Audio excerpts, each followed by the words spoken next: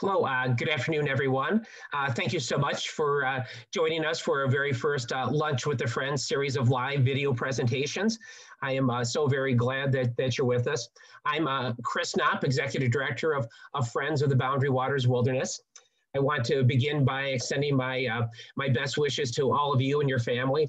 The, the COVID-19 virus is presenting some very new and very challenging times for all of us, and, and we're all in this together for over 40 years, Friends of the Boundary Waters Wilderness has been the leader in protecting the boundary waters. Today, our work focuses on, on, on three areas, uh, wilderness, people, and community.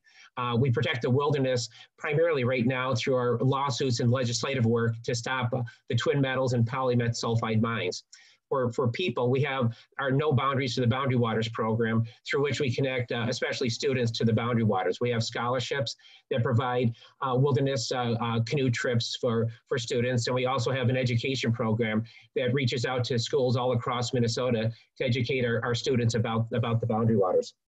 Uh, for community, we understand that the, the boundary waters uh, communities and the, the, the, boundary waters itself have a shared, a shared future.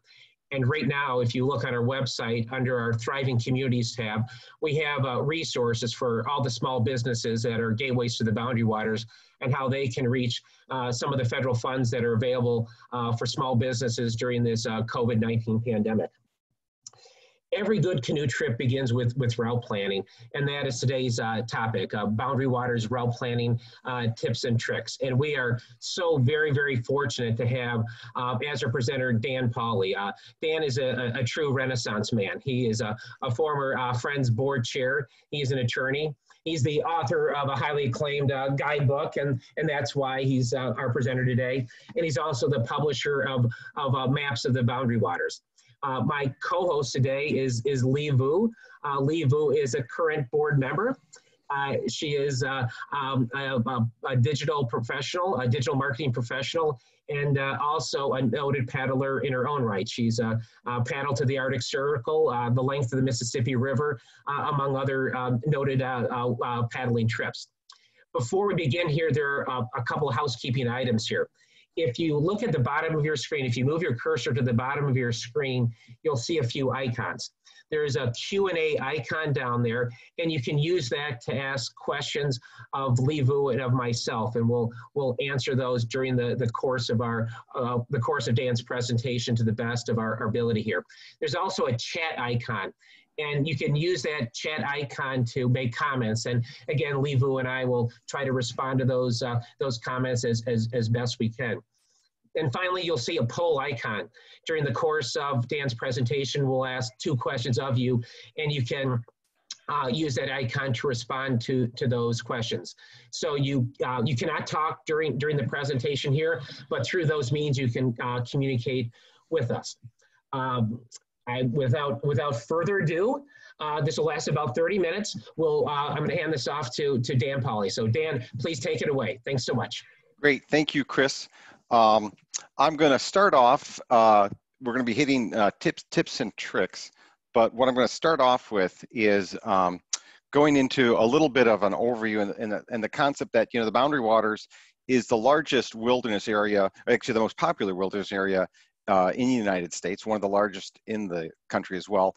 And there's over a million acres of area to explore with over a thousand lakes and streams and 2,000 campsites and innumerable portages. So uh, what we're going to talk about today is some examples of routes as well as some suggestions on how to design your own route. But literally, you could spend your entire life, uh, you know, picking through different routes, uh, you know, navigating different networks of lakes. Um, and so what I'm going to hopefully provide is some ideas on how to design your own routes and some that I think you might like. So with, uh, uh, with that, let me start off. What I'm going to do is talk about, again, principles and then go into some example routes.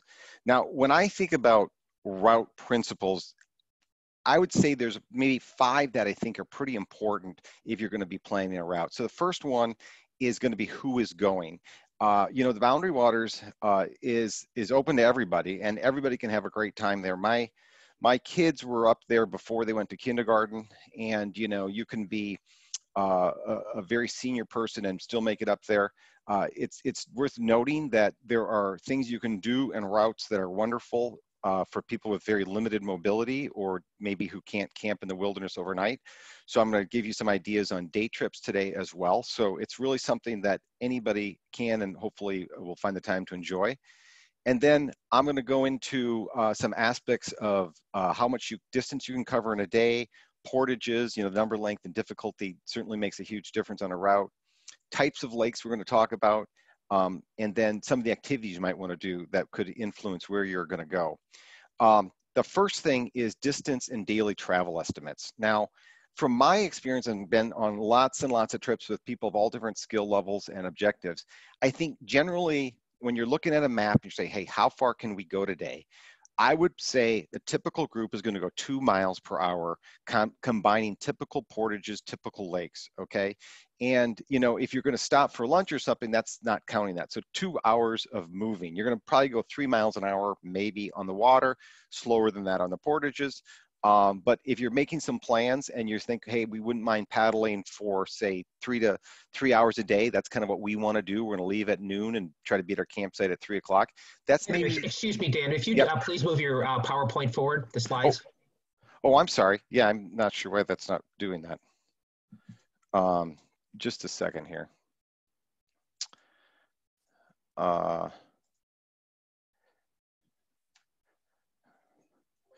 Just one second, I apologize. It should be working. Slideshow.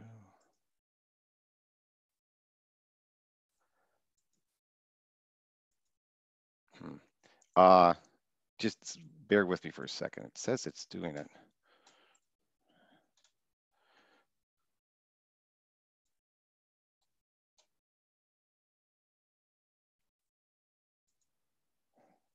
Okay, sorry. So that was the, can you see that now, Chris? Yes, we're all set okay. here. So this is what I had at the start, and then we had uh, this slide, and then went into this part where I was just talking about how much distance you can cover. So generally, you know, distance, uh, daily travel estimates, like I said, two miles per hour. And for most groups, from my experience, six to 12 miles a day is what they might want to cover. Uh, you know, you do more, you can less, but that's a good ballpark number uh, as you're sitting out, setting out your maps and thinking, hey, what could we cover today that we would enjoy? Now, the big variable is often portages. And so generally, um, you know, my recommendation is if you're with new visitors, you're going to have portages to be relatively few and relatively, um, and you're going to want them to be relatively uh, short. I would generally say not doing more than 100 rods for a person who's never been to the boundary waters before. And a rod is six and a half feet. So there's, uh, that's what rods are what's going to be on your map. And so uh, there's 320 rods to a mile. So you can kind of keep that in mind that, um, you know, as you're planning things out, 100 rods is going to be more than a quarter mile. And so, you know, if, if you've never been to the boundary waters before, that's kind of a lot to carry your gear across if you're not kind of used to that. So that would be an idea. Um, another thing I would say about the portages is that um, they are maintained by the Forest Service at different levels, and the portages that are near entry points, especially popular entry points, are going to be easier to cover. They're going to be uh, maintained with a, a, a, nicer trail, and as you get into the interior, those portages are going to be rougher, and I'll give you some examples of that uh, in my um, uh, in my routes, and then also that you know, if you go over a long portage, say a two or 300 rod portage, and there's no other way across to those lakes, generally you're going to find that when you get across that portage, it's going to have fewer people than on the other side. So if you're looking for more isolation, uh, going over long portages into the interior is a great way to do that. Um, next up here um, is uh, you're going to want to think about the types of activities you might want to do. If you're going to fish, I, uh, a great website to pull fishing data from is the um, uh, DNR Lake Finder website that has surveys even in the boundary water. Some of them are old, but they'll tell you what kind of fish are in a lake. Uh, if you want to go blueberry picking, uh, a good thing to note, that's a seasonal activity, obviously. So late in the summer uh, is when you're most likely going to get blueberries. But areas that have burned over in the last 10 or 20 years are going to have generally better blueberry picking because blueberries respond to fire. And I got some routes in that I'm going to show you that would have some of that. Uh, if you want to go swimming, uh, look, if you're going to be early season, a smaller lake or a shallow lake is going to have um, uh, is going to warm up earlier. So if something that's you're going to be swimming in June, you've got kids or whoever you think you want to do a lot of swimming, uh, smaller lakes uh, and shallow lakes are what you'd want to look for. Uh, people kind of think of the Boundary Waters primarily as a canoe area, but there's good hiking uh, and uh, in parts of it, especially up on the north part of the Gunflint Trail where the border route trail runs. I got a route that I'm going to point out some of that.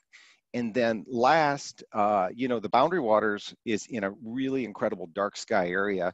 Um, one of the darkest places in the lower 48, and it's something that the Friends has worked on to protect uh, that dark, dark skies. Dark skies.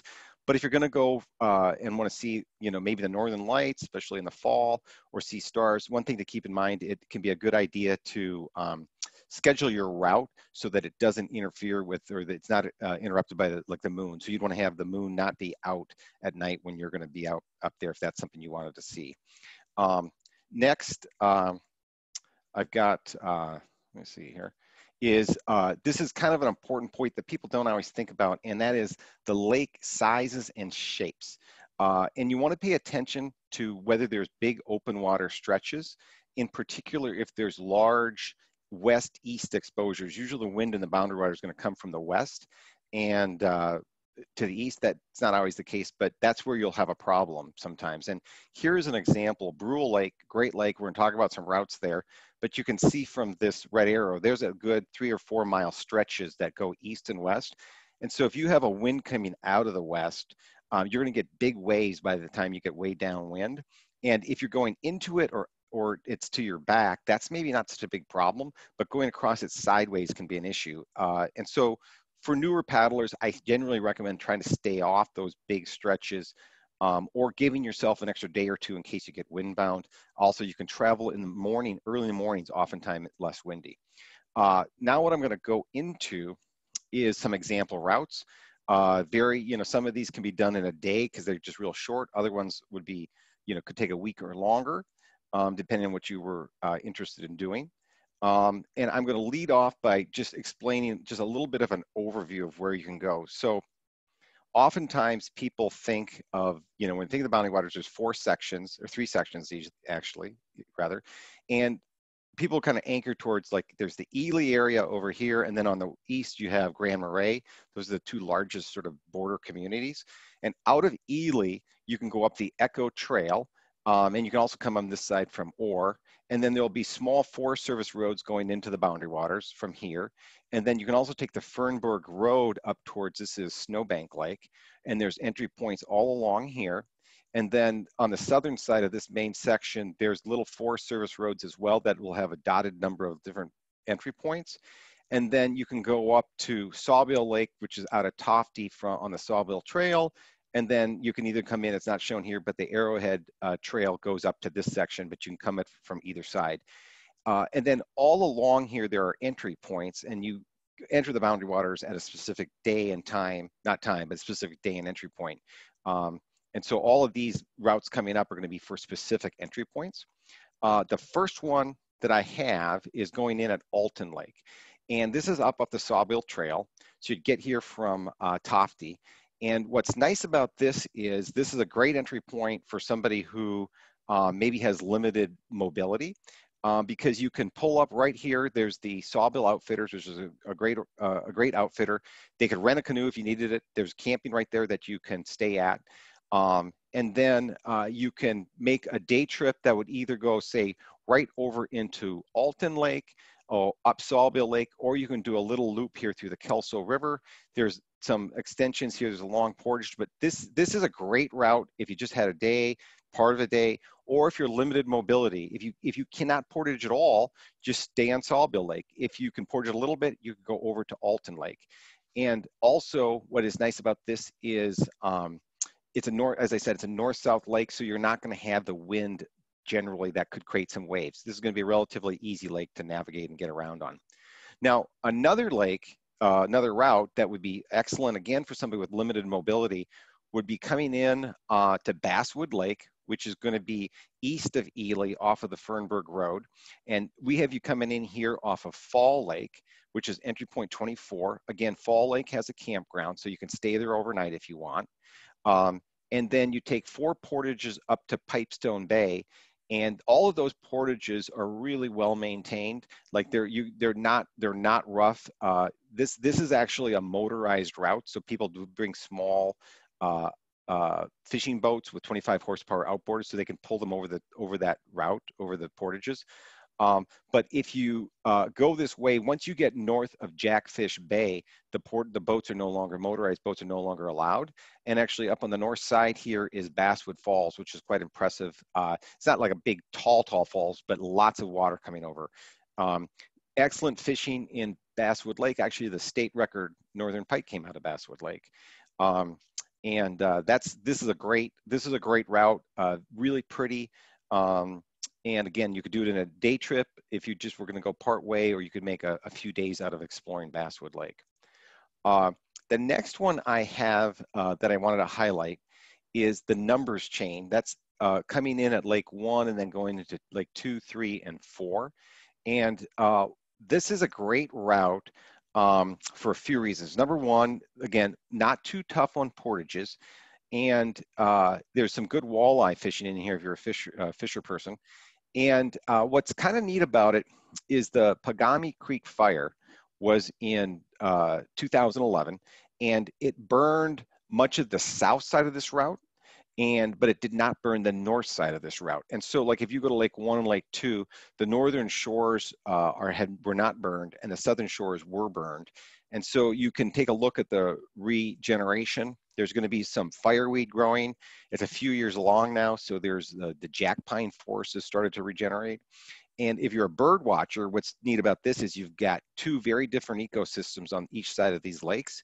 And so you're more likely to see a variety of birds and some birds that you wouldn't see together otherwise. Uh, and also, you know, moose like a regenerating forest. So uh, moose are always going to be unpredictable to see, but you know, in that regenerating force is going to give you more odds of seeing that. Uh, one thing I would note on this route uh, is you can see it's very twisty and turny. So you want to like hone your navigation skills, make sure you have a good map. Uh, you might want your GPS along, but remember your GPS could fall to the bottom of the lake or could break. So you want to navigate well um, and, uh, uh, you know, just um, be alert to where you are because you could, you could get lost, but if you're, if you're careful, you'll, you'll find your way out of it.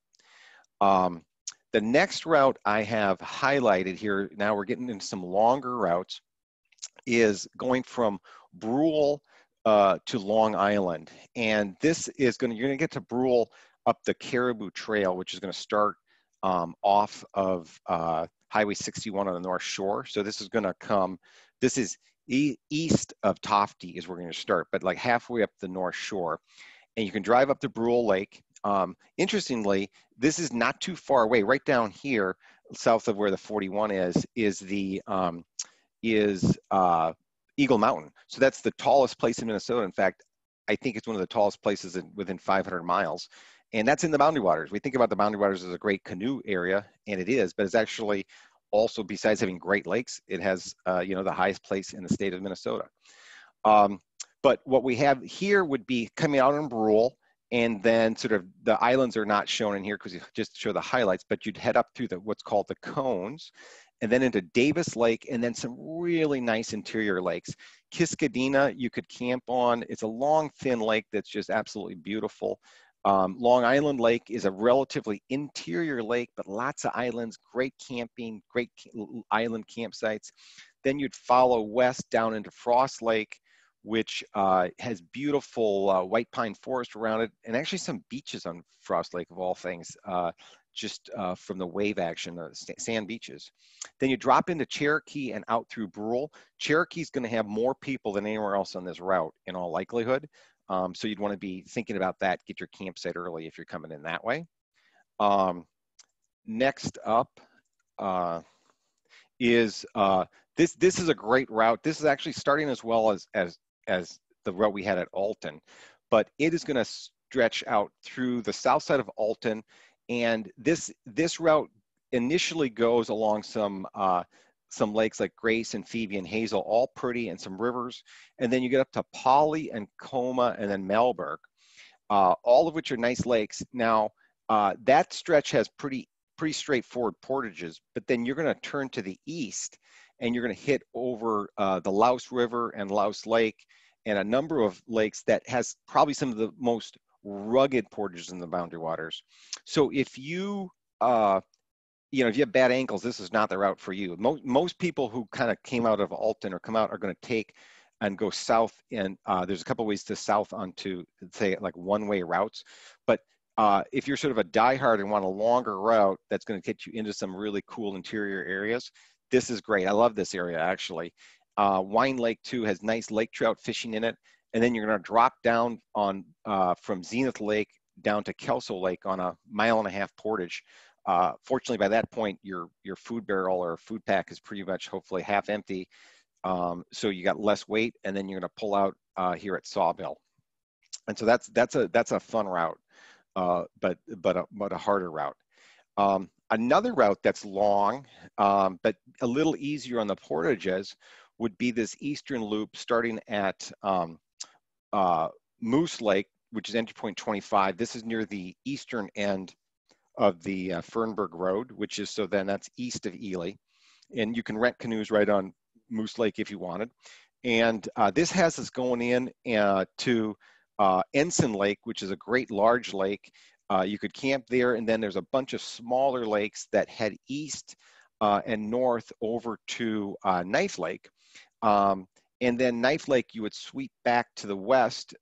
Knife Lake is a is is a great lake in so many regards. It's right on the Canadian border, but it's also interesting uh, that is actually where uh, Dorothy Molter, the root beer lady, lived for many years on the Isle of Pines, which is right about, I think, in here. Uh, that there's nothing. Uh, her her homestead is now a museum in Ely, so you could stop there first, and then you could check out where she lived, um, buy some root beer maybe beforehand, and then you can come all the way down, and you're going to drop into Birch Lake, and then back down uh, here to um, to Moose Lake, and your way out. Uh, interestingly, so this route, uh, I'll point out that all of the water here is going to flow to the west and north to Rainy Lake. The next route we're going to show here is um, actually moving down to, uh, is heading to the far west, excuse me, the far east boundary waters. And this is, um, I call it Minnesota Mountains uh, because this has some of the biggest terrain changes in all the boundary waters. And uh, you know, uh, I always encourage people to learn a little bit about the geology, and I won't go into detail here, but what ends up happening in this area, you have a whole lot of long, skinny lakes, and they are connected on their ends by relatively flat sections. And but if you go across their middles, it's big hills, okay? And so the route I have uh, suggested here is suggested, excuse me, is coming and starting at Bearskin Lake, going through Duncan and Rose, which are both trout lakes, Duncan to Rose actually has uh, one of the few portages in the Boundary Water that's a named portage. That's the Stairway Portage, which uh, is a rough-hewn stairway. Um, I think originally uh, there was one put in by the Civilian Conservation Corps. And then you're going to follow along the, uh, the uh, international boundary, which is actually corresponds to what used to be or what was the original Voyageur Highway. And that became the international boundary by treaty. Uh, you go through Mountain Lake and then Moose Lake and North Fowl and loop around, uh, and then into Pine Lake, which is a is is a long lake.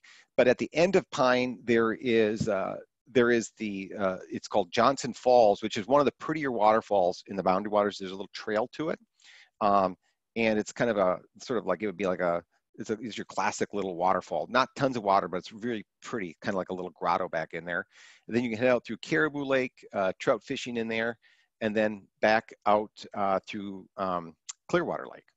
So this, this is a, a, neat lake, and if you really want to see some terrain changes, this is great for that. Notably, um, along this section here, south of Mountain and Moose, is where the Border Route Trail, part of it runs. And uh, great vistas up there. I've done it in the summer, I've done it in the winter, and some of the campsites have trails right up to it. Um, and then you could hike for part of a day, and then um, other places you can you can land and like go in um, from from from the shore at different spots and just do a partial trip. So um, that is uh, a bunch of routes and some ideas on how to sort of plan a trip, like in terms of routes. I wanted to let everybody know that the Friends of the Boundary Waters now is posting some ideas, including these ones, are all from there uh, on their website. And so if we can move over, I've got, here's the Friends of the Boundary Waters website. If you go in here to explore in canoe routes, uh, these routes, and there'll be more added, but these routes and others are all right there, and you can find them uh, and explore kind of routes and see what you'd be interested in doing. Um, and then um, with that, I am going to turn this back over to Chris. Thank you uh, for participating today. Uh, uh, great, Dan. But before we conclude this, and, and, before you lean back too far, Dan, there was uh, one one question uh, that someone asked about the the direction of the routes. That um, you know, can you go in either direction of the, of the routes you laid out? Maybe you want to talk a little bit about the impact of uh, wind direction and and lake, uh, and, and, and whether a, a length is whether a lake goes east, west, or north, south, and how that kind of impacts the, the direction of a route. Yeah. So um, good question. Uh, really, all the routes are kind of reversible, but if you looked at um, generally, if you're going to come across a lake, my recommendation would be to to to take um, to avoid open those open east-west stretches going sort of sideways to it, right? And so um, if you you know or or have it be a relatively short portion. Um, and so, you know, uh, sometimes you might need to even adjust your route on the fly, but they're they're generally reversible. But like take that um, that route with uh, with um, uh, Brule Lake on it. You know, like say you're you're gonna do that route and you're starting off and like it's a really nice day, then you might want to like head west onto Brule and then go around because you can take Brule easily in that condition. But if um, if instead it's not a good day, um, you know, you might want to you might want to adjust your route accordingly so that you, you're taking, you know, the difficult part um, the first day when the weather was would be good would be an example. Great, Dan. And well, we have a, a, few other outstanding questions here from from uh, our participants. One is, do you have a, a, good recommendation for a lake that would be a, um, a, a good base camp for day paddles? You have a favorite one for that? Mm-hmm. So, you know, uh, one that I think is really nice is um, uh, I like going up to Seagull Lake on the west side of uh, uh the Gunflint Trail. It's a great lake. Um, you know, a uh, little bit has motorized on it, but most of it does not.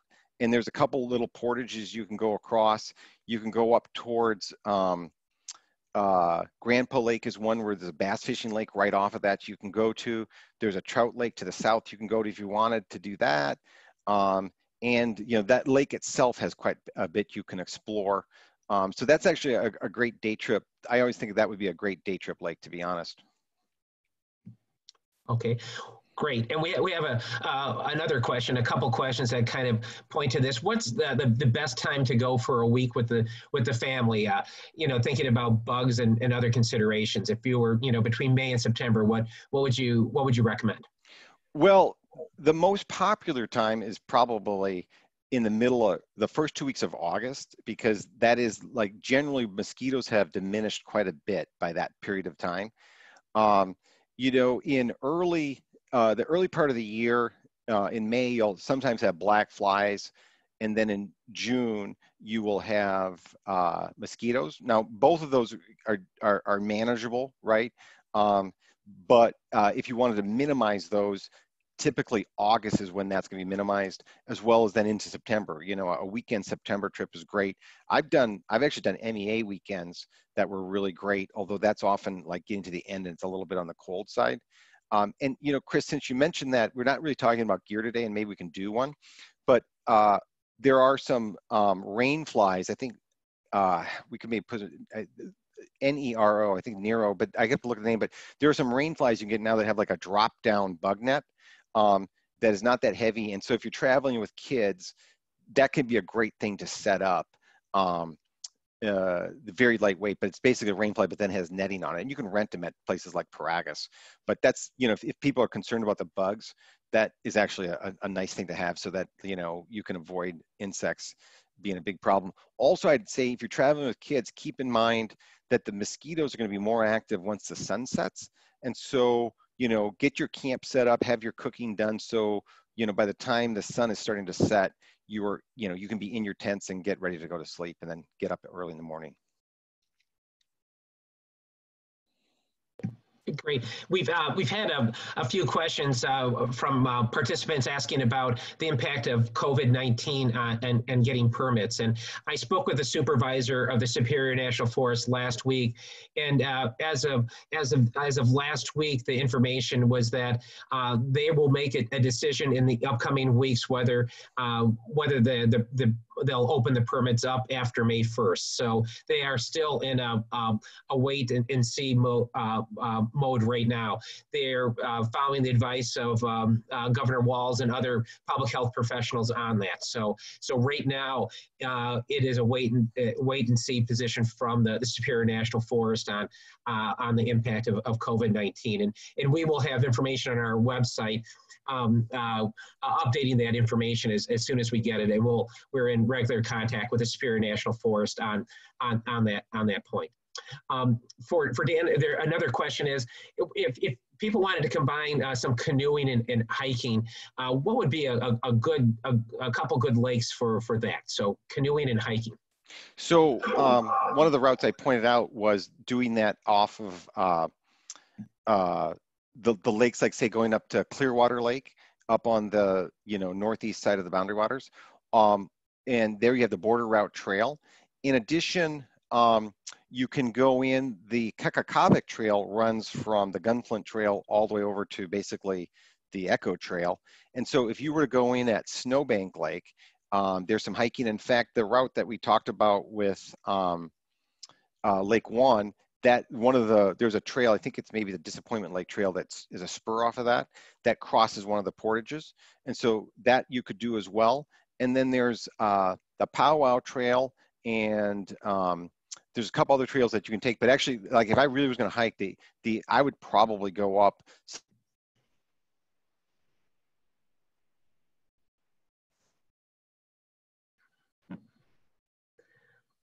along the border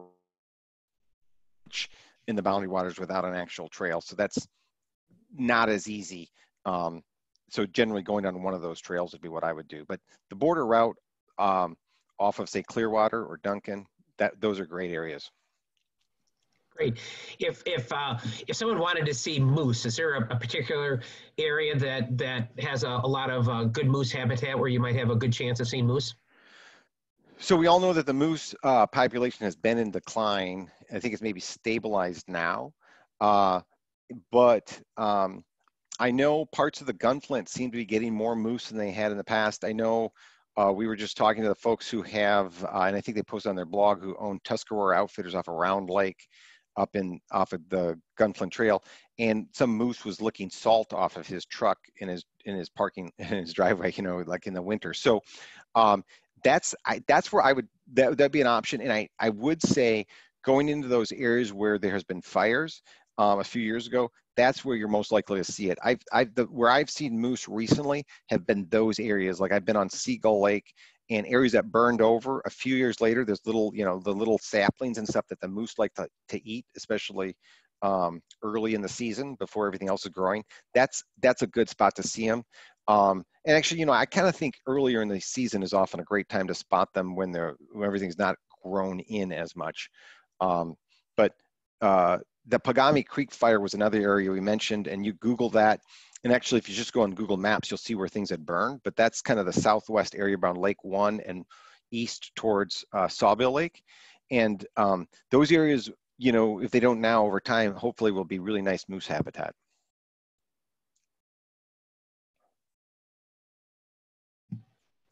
Great, Dan. And uh, we have a, a, question about someone that would like uh, to see uh, uh, petroglyphs and, and, waterfalls and, and how to get information about that. And I will, again, recommend people take a look at Dan's guidebook. He has some information on where those waterfalls and, and, and petroglyphs are. But, but Dan, maybe you want to point out uh, a, a, couple spots where people can, can, can uh, see both of those. Yeah, that's a good question. So actually the easiest place to go um, which you know we didn't have time to put all the routes in. Would if you go into South Hegman Lake, which is off of the Echo Trail, and um, you can they you can go right from there. That's about a 30 minute drive from Ely, maybe a little more. and then there's a couple of portage from South hegman I think it ends at Tees Lake or Trease Lake is the final one. And there's an overline, oh, sort of an overhanging rock wall where you'll be able to see um, some pictographs. And those ones uh, you'll see in pictures. That those ones are like in books and stuff. There's a like a some moose type figures and, and things like that. So that's a very easy day trip. In addition, up on Crooked Lake, there are some that are um, uh, if you would go, I can't remember if it's Friday Bay, but there's some that you can see there as well. And then off of the um, off of the Kawishiwi River, there's a tour, a trip you can take in. I the the the name of the small lake uh, uh, slips my mind right now, but there's some you can see there as well. And then waterfalls, I would note all along the border. There's a lot of water that's moving. You know, the, the boundary waters is at the top of the watershed. And so um, that's one of the reasons the water is so clear in the boundary waters or, so so pure is like really at the top of the watershed at the continental divide but all along the border um, especially say from basswood to the to the um, to the west towards Rainy Lake, there's great waterfalls, sometimes campsites right by them. And these are just real like raging rivers a lot of times at those places with sometimes like 20, 30 foot drops of water kind of cascading down. Curtain Falls uh, is up there at the west end of Crooked Lake. You got Basswood Falls. Um, and then, you know, uh, there'd be a couple examples. Johnson Falls was another like really nice one that was on Uh, Pine Lake. Great. Uh, there were uh, a couple, couple other questions. Uh, you know, to respond to the question that uh, dealing with the COVID nineteen again. Right, right now, uh, the the information is, is that uh, um, that the Superior National Forest is a, a, wait and see mode. I think maybe by next week we may have some more information from them, but it is not clear that after May first that you will be able to get into the boundary waters. So, so for those of you that are planning a um, an early trip after ice ice out. You, uh, it's it's a wait and see mode right now. So uh, uh, so with with respect to that, we'll uh, we'll have to just stay tuned. And again, we'll have stuff on uh, uh, information on our website to, um, to to deal with that. I know that we had a, a, a number of uh, other questions uh, dealing with uh, sort of planning for the trip with respect to food and equipment and things like that, and that will be a topic of a, of an upcoming um, one of one of these live video presentations coming up here. I know that we're kind of at the end of our, our time here, and, and so I want to uh, first of all, thank uh, thank Dan so much for for that wonderful presentation, and and thank Li Vu for for being a, a co-host uh, with me and. Um, and and and and and uh, and responding to the, the, the questions and, and the chat comments throughout here, and uh, um, uh, before we before we uh, conclude, you know, I also want to thank uh, all of you that are, are participating. We had, uh, you know, nearly nearly 200 people participating today, and uh, and the strength of Friends of the Boundary Waters Wilderness is is really because of you, and and the, the strength of protecting the boundary waters is is because of you, and and that has been uh, uh, the, the strength for the last 40 years, and will be the strength of the organization for for the next 40 years here. Uh, I responded to some questions dealing with, with the availability of this presentation in some of the Q&A in the chat rooms, but I'll repeat it here. Um, the, we, will be, we are recording this presentation and we'll make this recording available on our website. Uh, for people who want uh, a copy of Dan's PowerPoint presentation, uh, you, uh, we'll send it to you if you email us at info at friends-bwca.org. Again, that's uh, info at friends hyphen, that's friends with an S at the end, hyphen bwca.org. And again, as Dan pointed out on our website, we have we have this information available that that you can uh, can get right right from our website on our Explore tab and go into canoe routes. And and also uh, feel free to call our office anytime and ask any one of the staff uh, about this. So what's next up here? These are weekly presentations uh, every Wednesday at, at 12 noon Central Time, and our next one will be on April 15th. And this one will be will provide an update on the PolyMet litigation. And the presenter will be Evan Nelson, uh, uh, our, our lead attorney in our litigation to, to stop Polymet and, and a board member. Uh, this is a, a, an extraordinary time uh, in, in the history to protect the boundary waters from the threat of sulfide mining. And the, the last few months have been absolutely extraordinary. And we have, we have truly turned the tide in the battle against sulfide mining and the, the Polymet litigation has uh, has has been the the, the current spear uh, uh, in in that battle, uh, along with our, our lawsuits uh, to to stop twin metals. So so. Uh, on April 15th at, at, at 12 noon, please tune in. We will send out invitations how you can register for this the, this free webinar again, uh, thank you to, to, to Dan and thank you to Lee for being part of this. And, and thank you most of all to all of you for your passion for the Boundary Waters. Thank you so much. Uh, stay safe and stay healthy. Uh, goodbye and have a good afternoon.